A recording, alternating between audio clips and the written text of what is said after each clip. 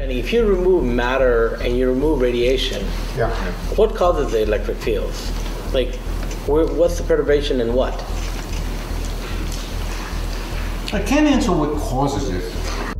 That pause, that's a gravity class pause you just heard there from Leonard Susskind. Leonard Susskind, who developed the conjecture ER equals EPR, like literally one of the goats, can't even answer why zero point energy is electromagnetic in nature.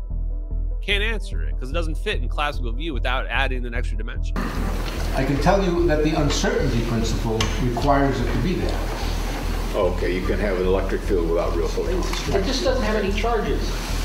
It's there anyway. The field fluctuates anyway. It doesn't need charges. Right.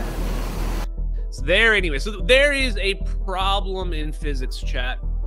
There's a problem in physics. Why can't we figure out unification?